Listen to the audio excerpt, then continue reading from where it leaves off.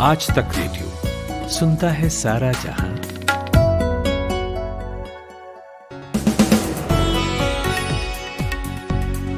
Hello, नमस्कार। मेरा नाम है नितिन ठाकुर और जो न्यूज़ एंड एनालिसिस पॉडकास्ट लेकर मैं हाजिर हूँ, उसका नाम है दिन भर इस पॉडकास्ट में हम पूरे दिन की खबरें लेकर आते हैं और कई खबरें ऐसी भी होती हैं जिन पर थोड़ा तफसील से बात करते हैं। तो आज कौन सी हैं वो खबरें बताता हूँ। बात होगी किसानों और सरकार के बीच हुई नौवे दौर की मुलाकात पर। साथ ही बताएँगे कि 26 जनवरी को जो ट्रैक्टर मार्च निकलने वाला है किसानों का, उसे लेकर किसानों में ही क्या मतभेद हैं? फिर यूपी की सियासत पर नज़र, जहाँ मायावती ने कहकर हलचल मचाई है कि वो अकेले ही चुनावी मैदान में उतरेंगी। और लंदन से आई है एक रिपोर्ट, कह रही है कि बेंगलुरु दुनिया का सबसे तेज़ी से बढ़ता टेक हब बन गया है। और फिर बात करेंगे भारत ऑस्ट्रेलिया के बीच हुई चौथे टेस्ट के पहले दिन की। लेकिन सबसे पहले सुनते हैं खुशबू से हेडलाइंस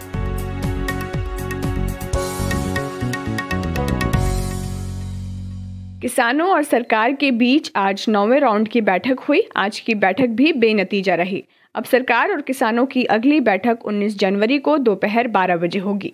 मायावती ने कहा है कि उत्तर प्रदेश और उत्तराखंड के आगामी विधानसभा चुनावों के लिए बसपा किसी भी राजनीतिक दल के साथ कोई गठबंधन नहीं करेगी। पार्टी अपने दम पर सभी विधानसभा क्षेत्रों में चुनाव लड़ेगी। सेना दिवस के मौके पर army chief M M Naravane ने कहा है कि पिछले साल देश ने चीन सीमा पर एक मुश्किल का सामना किया, जिसका कड़ा जवाब दिया गया। गलवान घाटी की घटना में जो जवान शहीद हुए, उनका बलिदान व्यर्थ नहीं जाएगा। अयोध्या में बन रहे राम मंदिर के लिए निधि समर्पण अभियान की शुरुआत आज से हो गई है। राष्ट्रपति रामनाथ कोविंद ने सबसे पहले पाँच लाख सौ रुपये का समर्पण निधि दिया है। महाराष्ट्र के शिवाजीराव भोसले कोऑपरेटिव बैंक घोटाले को लेकर ईडी की टीम ने सर्च अभियान किया। पुणे में एनसीपी एमएलसी अनिल भोसले सहित कई लोगों के ठिकानों पर तलाशी की गई। पीएमसी बैंक घोटाला मामले में संजय राउत की पत्नी वर्षा पर बैंक से कुछ लोन लेने का आरोप था, लेकिन अब दावा किया गया है कि जो 55 लाख उन्होंने लिए थे, वो अब वापस लौटा दिए हैं। विश्व भर में तेज़ी से टेक्नोलॉजी का विस्तार करने वाले शहरों की एक लिस्ट में बंगलुरु दुनिया का सबसे तेज़ी से बढ़ता टेक हब घोषित किया गया है। साथ ही इसमें छठवें स्थान पर मुंबई को भी शामिल किया गया है। इंडोनेशिया में भूकंप के तेज झटके महसूस किए गए, जिनकी तीव्रता छः दशमलव दो रही। अब तक कम से कम चौंतीस लोगों के मरने की खबर है, वहीं सैकड़ों लोग घायल हुए हैं। अमेरिका के ट्रंप प्रशासन ने सख्त कदम उठाते हुए चीनी स्मार्टफ़ोन कंपनी शाओमी और सरकारी तेल company China National Offshore Oil Corp को ब्लैकलिस्ट कर दिया है। अमेरिका के नवनिर्वाचित राष्ट्रपति जो बाइडेन ने कोरोना महामारी से अर्थव्यवस्था को उबारने के लिए एक दशमलव नौ ट्रिलियन डॉलर के पैकेज का ऐलान किया है, इस प्रस्ताव को अमेरिकन रेस्क्यू प्लान नाम दिया गया है। भारत और ऑस्ट्रेलिया के बीच खेले जा रहे चौथे टेस्ट के पहले दिन ऑस्ट्रेलिया ने पाँच विकेट गंवाकर दो रन बना लिए हैं। कैमरन ग्रीन 28 रन और टिम पेन 38 रन बनाकर क्रीज पर मौजूद हैं। केंद्र सरकार और किसान संगठनों के बीच एक बार फिर आज बातचीत का दौर चला। इससे पहले इंटरनेशनल मॉनेटरी फंड ने नए कृषि कानूनों की तारीफ़ की। कहा कि ये कानून कृषि क्षेत्र में बेहद ज़रूरी था, सुधार हैं ये, और ये भी कहा कि इस कानून का असर जिन लोगों पर पड़ेगा, उन्हें सामाजिक सुरक्षा देने की भी ज़रूरत है। तो आज की सरकार किसान वार्ता में क्या हुआ, बता रहे हैं आज तक रेडियो रिपोर्टर आनंद पटेल। देखिए, आज नवे दौर की बातचीत थी किसानों और सरकार के बीच में, और ये बैठक भी बेनतीजा रही। अगली बैठक 19 तारीख को तय हुई है। कुछ, लेकिन अहम जो है, इसमें वार्तालाप ज़रूर हुई किसानों और सरकार के बीच में। जो किसान थे उन्होंने, किसान नेताओं ने कहा कि पंजाब में, हरियाणा में जो हाल के दिनों में केंद्रीय एजेंसियों ने रेड की हैं आड़तियों के खिलाफ और जो लोग किसानों, किसान संगठनों की मदद कर रहे हैं इस आंदोलन में, ये बहुत दुर्भाग्यपूर्ण है, ये रुकना चाहिए। दूसरी बात किसानों ने ये कही कि जिस तरीके से बार बार वार्ता विफल हो रही है, इससे ऐसा लग रहा है कि ये मामला लटकाया जा रहा है, लेकिन सरकार ने कहा कि उसकी नीयत बहुत साफ़ है और वो चाहते हैं कि बातचीत से इस मसले का हल निकले। देखिए, दूसरी चीज़ जो अहम इस वार्ता के अलावा हुई है, वो ये कि एक तरफ़ तो किसान संगठनों ने ये कह दिया कि वो सुप्रीम कोर्ट की जो अपॉइंटेड कमेटी है, उससे कोई बातचीत नहीं करेंगे, उससे किसान संगठनों ने अपने आप को बिल्कुल अलग कर लिया। लेकिन इसके बावजूद, केंद्र और किसान संगठनों के जो नेता हैं, उनके बीच जो वार्ता हो रही है उसमें कोई गतिरोध नहीं आया है। तो ये एक पॉजिटिव डेवलपमेंट है। किसान नेताओं का कहना है कि चूँकि ये लॉ ये कानून संसद ने पारित किया है लिहाजा वो संसद के रूप के ज़रिए ही इस कानून की वापसी चाहते हैं। हालाँकि ये देखना होगा कि सरकार कितनी उनकी बात मानती है लेकिन आज की वार्ता में भी आ, कुछ खास निकला नहीं। सरकार ने दो टूक कह दिया है, पहले ही किसानों को कि कानून जो है वो वापस नहीं होंगे और कुछ रद्दो बदल, बदलाव जो चाहते हैं किसान संगठन वो कर सकते हैं। एक और जो बात हुई वो एसेंशियल कमोडिटीज एक्ट को लेकर के हुई, किसानों ने कहा कि उसके जो प्रावधान है वो बहुत गलत हैं और वो कानून, जो अमेंडमेंट हुआ है कानून में, उसको भी सरकार वापस ले। उस पर भी सरकार की तरफ़ से कोई बहुत पुख्ता जवाब या आश्वासन नहीं दिया गया आज। आनंद जी 19 जनवरी को होनी है बातचीत। किसानों की क्या स्ट्रेटजी रहने वाली है? देखिए जो सबसे अहम प्रोग्राम आ रहा है किसान संगठनों ने जो अनाउंस किया था एक तो लोहरी के बाद उन्होंने नेताजी सुभाष चंद्र बोस की जो बरसी है उस दिन आज़ाद किसान दिवस मनाने की बात किसानों ने कही है। देखना होगा तेईस तारीख को क्या कुछ होता है, किस तरीके से किसान नेता इसको ऑर्गेनाइज करते हैं। और उसके बाद 26 जनवरी को किसानों ने ट्रैक्टर परेड निकालने की बात कही है। आ, पहले ये बातें आ रही थी कि किसान जो है अपने ट्रैक्टर परेड राजपथ पर करेंगे। इसको लेकर के जो इंटेलिजेंस एजेंसीज हैं खुफिया तंत्र है वो भी काफ़ी सक्रिय हुआ हुआ है। और आ, कहीं टकराव की स्थिति ना बन जाए कहीं किसान सच में अपने जो ट्रैक्टर हैं वो राजपथ पर ना ले आए। इसको लेकर के एजेंसियाँ पूरी तरीके से मुस्तैद हैं। सरकार भी इस पर पूरी निगरानी हुई है। लेकिन आज दो तीन अलग अलग बयान ज़रूर सामने आए। जब महेंद्र सिंह टिकैत जो भारतीय किसान यूनियन के नेता हैं उत्तर प्रदेश से आते हैं उनसे पूछा गया कि अगर सुप्रीम कोर्ट जो 26 तारीख को सुनवाई करने जा रहा है इस मसले पर अगर वो अगर आपको प्रतिबंधित कर दे कि आप दिल्ली में परेड नहीं निकाल सकते हैं तो फिर क्या रुख होगा किसान नेताओं का संगठनों का? तो उन्होंने कहा कि वो दिल्ली में नहीं निकालेंगे फिर।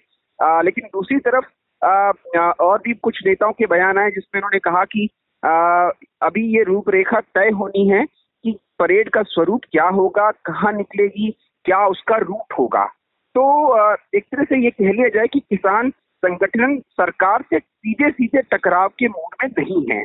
और ये जो बातें आ रही थी कि राजपथ पे किसान रैली निकालेंगे, संसद भवन पे निकालेंगे या लाल किले पे झंडा फहराएँगे, ये सारी बातें जो हैं, गलत हैं।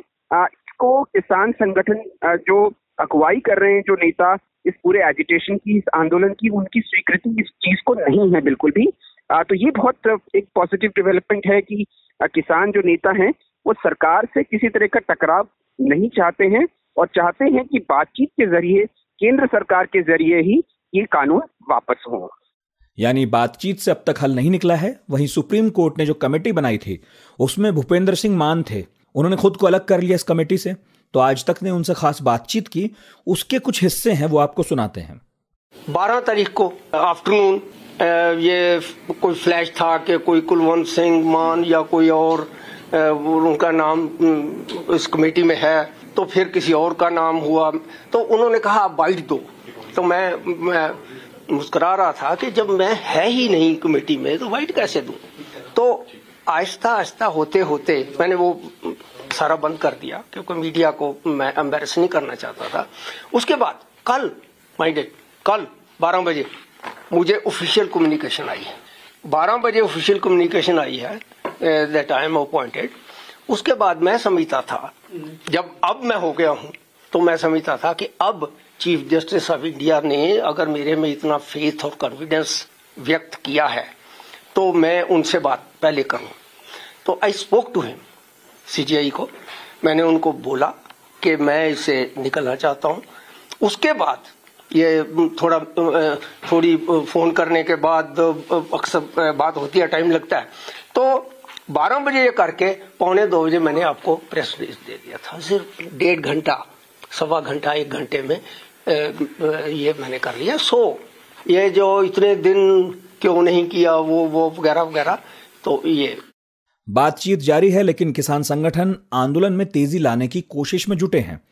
एक ट्रैक्टर मार्च होना है 26 जनवरी को लेकिन उसकी प्लानिंग को लेकर ये संगठन आपस में एक दूसरे से सहमत नहीं है। मतभेद क्या है ये पूछा मैंने हमारे आज तक रेडियो रिपोर्टर कुमार कुणाल से।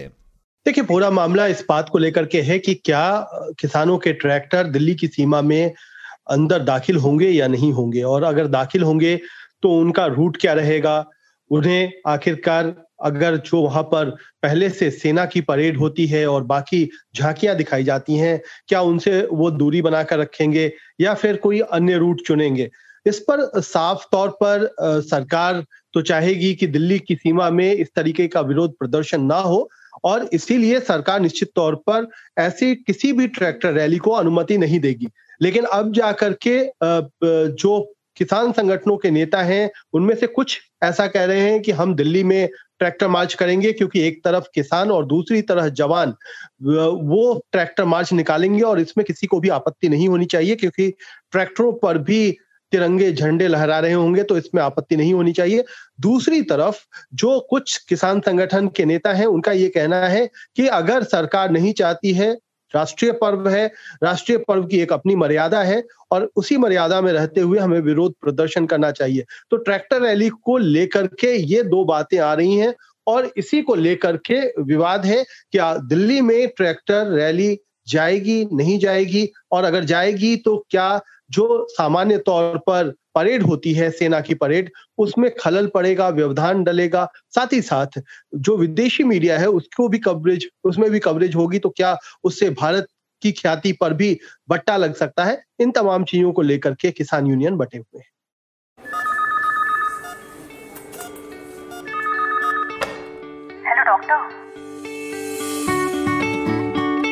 हेलो डॉक्टर आज तक रेडियो की एक खास सीरीज़ है, जिसमें हम आपकी सेहत से जुड़े टॉपिक्स पर काम की जानकारी आप तक पहुंचाते हैं स्पेशलिस्ट डॉक्टरों से बात करके। यानी अलग अलग बीमारियों पर मशहूर डॉक्टरों का ज्ञान, उनकी सलाह घर बैठे आप तक पहुँचती है हर मंगलवार सुबह आज तक रेडियो पर। और अब बात उत्तर प्रदेश की, वहाँ की राजनीति की, और उसमें भी बीएसपी सुप्रीमो मायावती की। आज पैंसठवां जन्मदिन है उनका इस मौके पर मेरे संघर्षमय जीवन और बीएसपी मूवमेंट का सफरनामा भाग सोलह इस नाम की किताब जारी की गई। एक अहम ऐलान भी हुआ। यूपी की पूर्व सीएम ने कहा है कि यूपी में और उत्तराखंड में जो चुनाव होने हैं, उन्हें बीएसपी अब अकेले लड़ेगी। अब कुछ लोग कह रहे हैं कि मायावती का ये जो फैसला है बहुत रिस्की है। तो हमने पूछा लखनऊ में आज तक रेडियो रिपोर्टर कुमार अभिषेक से कि क्या यूपी की सियासत पर उनके इस ऐलान का कोई फ़र्क पड़ेगा? देखिए, मायावती ने जिस तरीके से आज साफ़ कह दिया है कि वो अब उत्तर प्रदेश और उत्तराखंड दोनों का चुनाव अकेले लड़ेंगी तो ये थोड़ा चौंकाता है, क्योंकि कुछ दिन पहले बिहार में जो चुनाव हुए थे, उसमें उन्होंने असदुद्दीन ओवैसी की पार्टी, ऑल इंडिया एमआईएम के साथ उन्होंने टाइप किया था, कई छोटे दलों के साथ टाइप किया था। और उम्मीद ये की जा रही थी कि उत्तर प्रदेश में जो 2022 में चुनाव होने हैं उसमें भी मायावती किसी टाइप के साथ जा सकती है, यानी कुछ गठबंधन कर सकती हैं। हालाँकि उत्तर प्रदेश को लेकर उनका हमेशा से ही एकला चलो का इतिहास भी रहा है और बीजेपी के साथ छोड़ दें या फिर पिछली बार समाजवादी पार्टी के साथ की बात छोड़ दें तो मायावती अकेले लड़ती रही हैं। लेकिन जिस तरीके से समाजवादी पार्टी का गठबंधन टूटा था उम्मीद ये की जा रही थी कि की जा रही है कि मायावती अकेले लड़ेंगी और आज उन्होंने उसका ऐलान भी कर दिया। उन्होंने कहा कि जिस तरीके से 2007 में चुनाव के बाद उनकी वापसी हुई थी 2007 के चुनाव जो उन्होंने जीता था और 2012 तक जो उन्होंने सरकार चलाई थी, ऐसा ही 2022 के चुनाव में होगा। उन्होंने आज अपने दाताओं को ये निश्चित तौर पर एक संदेश दिया है और साफ़ कह दिया है कि किसी तरह का कोई गठबंधन नहीं होगा। लेकिन अभी भी बहुत वक्त बचा है। देखना होगा कि आने वाले वक्त में ये पूरा का पूरा जो उनका स्टैंड है वो क्या यही रहता है या कुछ बदलता भी है। इस तरह से चुनावी मैदान में अकेले उतरना वो भी ऐसे वक्त में जब पार्टी कमज़ोर हो रही है मायावती से क्या साध लेंगे अभिषेक? लगातार ये माना जा रहा है कि बीएसपी कमज़ोर होती जा रही है और उसकी वजह भी है।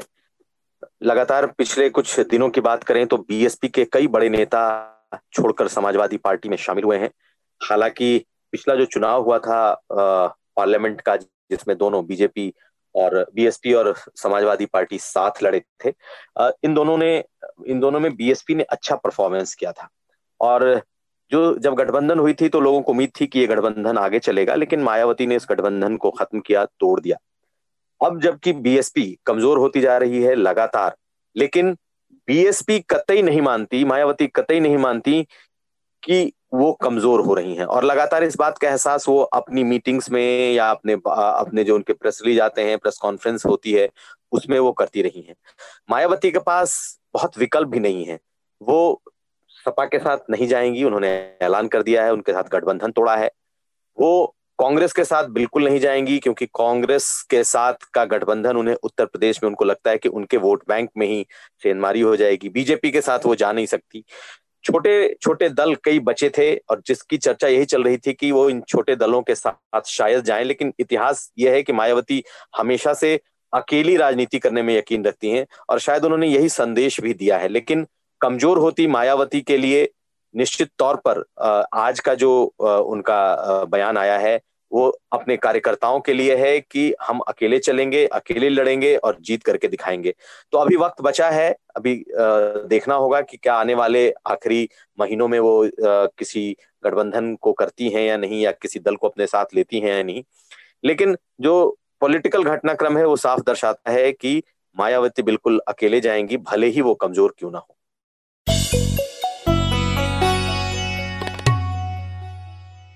लंदन की एक एजेंसी है डील रूम डॉट कॉम उसने रिपोर्ट जारी की है। उसके मुताबिक 2016 के बाद से बेंगलुरु दुनिया के सबसे तेज़ी से बढ़ते टेक्नोलॉजी सेंटर यानी कहिए कि टेक हब के रूप में उभरा है। बेंगलुरु के बाद इस लिस्ट में है London, Munich, Berlin, Paris. Bharat की आर्थिक राजधानी मुंबई भी इस लिस्ट में है, लेकिन छठे नंबर पर है। तो हमने बात की इंडिया टुडे के एसोसिएट एडिटर शुभम शंगधर से, और पूछा ये कि किन वजहों से बेंगलुरु नंबर वन पोजीशन पर आया है। जी लंदन की एक एजेंसी लंदन एंड पार्टनर्स ने ये डेटा एनालाइज किया है, जिसमें ये पाया गया है कि बेंगलुरु पूरी दुनिया का सबसे ज़्यादा वीसी इन्वेस्टमेंट आकर्षित करने वाला शहर बन गया है। ये डेटा जो एनालाइज किया गया, ये 2016 से 2020 के दौरान जो वेंचर कैपिटलिस्ट का इन्वेस्टमेंट आया है, उसके आधार पर तैयार किया गया है। उसी आधार पर यह तय किया गया है कि कौन सा सिटी किस स्थान पर है। सबसे ऊपर जो नाम है वो निश्चित तौर पर बेंगलोर का है। इसके बाद यूरोप के चार शहर लगातार हैं। उसमें लंदन है म्यूनिक है, बर्लिन है, पेरिस है। और इसके बाद फिर छठे नंबर पर जो है वो भारत का ही एक और शहर, जिसे हम इकोनॉमिक कैपिटल कहते हैं इंडिया की, मुंबई, वो आता है। तो इस तरह अगर आप देखें तो टॉप छः शहरों में नंबर वन पर और नंबर छठे स्थान पर, दोनों स्थान पर बेंगलुरु और मुंबई हैं। ये एक बड़ी इंटरेस्टिंग बात है, ये हमें समझना होगा कि इंडिया दरअसल बहुत सारी आईटी कंपनीज़ की आउटसोर्सिंग का हब है। और बेंगलुरु जो लंबे समय से आईटी का हब रहा है, उसके पास लगातार इन्वेस्टमेंट का आना नए नए स्टार्टअप्स यहाँ से जन्म लेते हैं, नए स्टार्टअप्स की वजह से, नए आइडियाज़ की वजह से, बहुत सारा वीसी इन्वेस्टमेंट इस शहर पर आता है, इस शहर में आता है। और ऐसा नहीं है कि दुनिया, भारत में और शहर ऐसे नहीं है जो आईटी एक्टिविटीज़ से जुड़े नहीं हैं, लेकिन एक इकोसिस्टम होता है जिसके आसपास क्रिएट होता है। अगर हम देखें तो हैदराबाद है इवन नोएडा है मुंबई है, पुणे है, और भी कई शहर ऐसे हैं जहाँ पर अच्छे स्टार्टअप्स आईटी के कुछ सेंटर्स बड़ी कंपनीज़ के ऑफिसेज हैं। लेकिन बेंगलोर की जो पहचान है, वो दरअसल एक स्टार्टअप शहर के रूप में है। बहुत सारे स्टार्टअप्स ऐसे हैं जो बेंगलोर से ही बड़े, बड़ी कंपनीज़ हमने उनको बनते देखा है। और अभी भी नए नए आइडियाज़ नए नए चीज़ें वहाँ से हम आती देखते हैं। और इसी वजह से अभी भी हम वहाँ पर बहुत सारे नए नए आइडियाज़ नई नई चीज़ें वहाँ आते देखते हैं। और यही वजह है कि बेंगलोर को इस लिस्ट में शीर्ष पर स्थान मिला है। बेंगलोर दुनिया का तेज़ी से बढ़ता हुआ टेक हब बना है। इससे वहाँ की लोकल इकोनॉमी को किस तरह से फ़ायदा होगा, खासकर रियल एस्टेट को? निश्चित तौर पर यह एक वाजिब सवाल है और इसका एक फ़ायदा भी मिलता है। जब कोई शहर, जब कोई ख़ास जगह अगर किसी हब के तौर पर बड़ी होती है, बनती है, पूरा इकोसिस्टम वो अपने साथ लेकर चलती है तो निश्चित तौर पर वहाँ के जो रियल एस्टेट प्राइसेस होते हैं वो बढ़ते हैं। हमने अभी रिसेंट जो रिपोर्ट आई है, अगर मैं नाइट फ्रैंक की रिपोर्ट को कोट करूँ तो एक रिसेंट रिपोर्ट आई है जिसमें ये दिखाया गया है कि जो रेंटल्स हैं, वो पूरी दुनिया के बड़े बाज़ारों में, आठ बड़े बाज़ारों में कितने कितने घटे हैं या ऑफ़िस की डिमांड कितनी घटी है तो उसमें भी हम देखते हैं जो ये सदर्न स्टेट हैं, चाहे वो हैदराबाद हो, चाहे वो बेंगलोर हो, इन स्टेट्स में जो ऑफ़िस की डिमांड थी, उसमें भी कोई बहुत बड़ा बहुत बड़ी कमी नहीं आई है। ओवरऑल पूरे भारत की बात करें तो निश्चित तौर पर ऑफ़िस एब्जॉर्प्शन जो है वो 44 परसेंट ही कम हुआ है पिछले साल की 2019 की तुलना में 2020 में। लेकिन इन शहरों में निश्चित तौर पर ऑफ़िस की मांग बनी रही है और किराए भी बहुत ज़्यादा घटे नहीं हैं। स्टेबल रहे हैं। बढ़े नहीं हैं निश्चित तौर पर, लेकिन घटे भी नहीं है। जबकि उसी के ठीक सामने आप सापेक्ष अगर देखें तो चाहे मुंबई की बात करें, दिल्ली एनसीआर की बात करें, यहाँ पर ऑफ़िस के रेंट्स भी घटे हैं। एक और बड़ी इंपॉर्टेंट चीज़ ये है कि ऐसा नहीं है कि ये कोई एक दिन का प्रोसेस है, एक साल का प्रोसेस है, ये एक इकोसिस्टम बनने में एक लंबा समय लगता है। जैसे हम देखते हैं कि अगर आईटी के लिए हमारे दिमाग में नाम आता है बेंगलोर का तो कहीं ना कहीं अगर हम दूसरी इंडस्ट्री की बात करें, हम कम्युनिकेशन इंडस्ट्री की बात करें, हम फ़िल्म इंडस्ट्री की बात करें तो शायद हमारे दिमाग में दूसरे शहर आते हैं, क्योंकि वहाँ पर उनका इकोसिस्टम तैयार हुआ है। अगर इस किसी स्टेट में इस तरीके का कोई शहर होता है जहाँ से बहुत अच्छा रेवेन्यू आता है तो निश्चित तौर पर इसका फ़ायदा न केवल उस शहर की लोकल इकोनॉमी को, बल्कि पूरे स्टेट को मिलता है। बात क्रिकेट की, भारत और ऑस्ट्रेलिया के बीच चौथा टेस्ट आज से ब्रिस्बेन में शुरू हो गया। टॉस जीतकर पहले बल्लेबाजी करने उतरी थी ऑस्ट्रेलिया। दिन का खेल खत्म होने तक पाँच विकेट खो दिए और दो सौ चौहत्तर रन बना लिए। भारत के लिए पहली पारी में टी नटराजन ने दो विकेट लिए, मोहम्मद सिराज, शार्दुल ठाकुर, वॉशिंगटन सुंदर ने एक एक लिया। तो कैसा रहा खेल आज का? कल के खेल में मैच क्या करवट ले सकता है? इस पर बात की हमारे सहयोगी ऋतुराज ने स्पोर्ट्स कोरेस्पॉन्डेंट मोहम्मद इकबाल से। इकबाल स्वागत है आपका इस बातचीत में। धन्यवाद ऋतुराज। पहले दिन का खेल दो सौ चौहत्तर पे पाँच। यहाँ से अगर सौ रन भी ऑस्ट्रेलिया बना लेती है तो भारत के लिए कल मुश्किल हो सकती है। बिल्कुल मुश्किल हो सकती है क्योंकि जिस तरीके से ऑस्ट्रेलिया ने बैटिंग की है वाकई आज क्रेडिट देना होगा मानस लाबुशेन को जिस तरीके से उन्होंने बैटिंग की। हालाँकि किस्मत ज़रूर उनके साथ रही कि दो दो कैचेस उनके छूटे। खासतौर पर अजिंक्य रहाणे जो ने जो कैच छोड़ा ऋतुराज वो आ, एक तरह से बहुत ही आ, आसान मौका था। लेकिन वही है ना कि सौ में से निन्यानवे मरतबा खुद अजिंक्य रहाणे उस कैच को पकड़ लेते। लेकिन क्योंकि दिन आज मानस लाबुशेन का था तो उनको दो दो जीवनदान मिले और उन्होंने शतक पूरा किया। आ, लेकिन यहाँ से बिल्कुल सही कहा आपने कि सौ रन भी अगर अगर और ऐड हो जाते हैं तो 400 के आसपास ऑस्ट्रेलिया का स्कोर पहली पारी में हो जाएगा। और फिर जब ऑस्ट्रेलिया पहली पारी में 400 बना लेगा तो भारत के लिए ही तमाम मुश्किलें रहेंगी आने वाले दिनों में। पहले सेशन में भारत ने जल्दी विकेट झटके दूसरा सेशन जो है ऑस्ट्रेलिया ने अपने नाम किया और तीसरे सेशन में भारत ने वापसी की।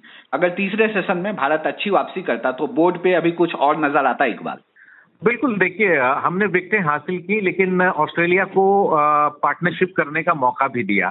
जैसे मार्नस लाबुशेन ने जिस तरह की बैटिंग की वो अगर जो कैच ड्रहाने ने छोड़ा या एक और जीवन दान जो उनको मिला था। अगर वो जल्दी आउट हो जाते तो जो जिस तरह की बैटिंग कैमरून ग्रीन और टीम पेन कर रहे हैं, वो शायद न हो पाता, क्योंकि उनके ऊपर फिर स्ट्रेट फॉरवर्ड दबाव हो जाता।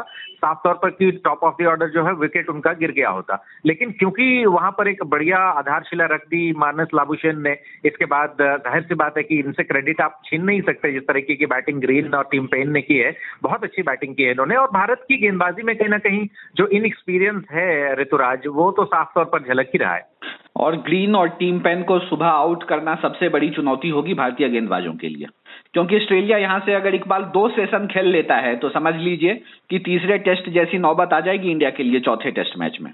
बिल्कुल सही बात। या ऑस्ट्रेलिया को अगर आपने जल्दी आउट नहीं किया तो फिर ये टेस्ट मैच जो है आपकी रीच से आपकी पहुँच से बाहर चला जाएगा। तो आ, जैसा कि हम इस टेस्ट सीरीज़ में अमूमन करते रहे हैं ओवरनाइट स्कोर से जब भी ऑस्ट्रेलिया आगे खेलना शुरू करता है तो हम उनको जल्दी निपटा देते हैं। तो उम्मीद करते हैं फिंगर्स क्रॉस्ड कि ऑस्ट्रेलिया कल फ़र्स्ट सेशन में ही ऑल आउट हो जाए और बहुत ज़्यादा रन जोड़ ना पाए। फिर एक बार जो है मौका रहेगा भारतीय बल्लेबाजों के पास वापसी करने का।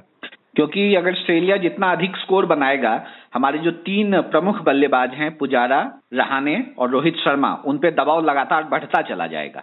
बिल्कुल, देखिए, हालाँकि अच्छी बात यह रही है कि हमने जो है पिछले मैच से ओपनिंग में एक बढ़िया प्रदर्शन किया है, दोनों पारियों में अच्छी ओपनिंग मिली हमें। उम्मीद करेंगे इस टेस्ट मैच में भी हमें ओपनिंग अच्छी मिले, क्योंकि जब तक ओपनिंग अच्छी नहीं होगी, तब तक जो है आप टेस्ट मैचेस में बड़ा स्कोर नहीं बना सकते मतलब रेगुलरली तो ऐसी सूरत में ओपनिंग बहुत ज़रूरी हो जाती है, और क्योंकि आपके पास हनुमा विहारी भी नहीं है, रविंद्र जडेजा भी नहीं है, अश्विन भी नहीं है तो ऐसी सूरत में आपकी बैटिंग जो है, वो कमज़ोर है तो ऐसी सूरत में जिन खिलाड़ियों का आपने नाम लिया इन खिलाड़ियों को एक्स्ट्रा रिस्पॉन्सिबिलिटी के साथ खेलना पड़ेगा क्योंकि हर रोज ऋषभ पंत भी वो कारनामा नहीं कर सकते जो उन्होंने पिछले मुकाबले में सिडनी के अंदर किया। और कल ऑस्ट्रेलिया जितनी जल्दी आउट होगा भारत के लिए उतनी ही अच्छी खबर होगी। और शुक्रिया इकबाल अपना समय देने के लिए। धन्यवाद ऋतुराज। तो आज के दिन भर में इतना ही। हमें कुछ भी लिखकर भेजना चाहते हो तो रेडियो एट द रेट आज तक डॉट कॉम हमारा पता है। आपके मेल्स का इंतज़ार रहेगा शो में शामिल भी करेंगे। अभी इजाज़त दीजिए इस पॉडकास्ट के प्रोड्यूसर प्रतीक वाघमारे को और साउंड इंजीनियर कपिल देव सिंह को। मेरा नाम है नितिन ठाकुर, सुनते रहिए आज तक रेडियो।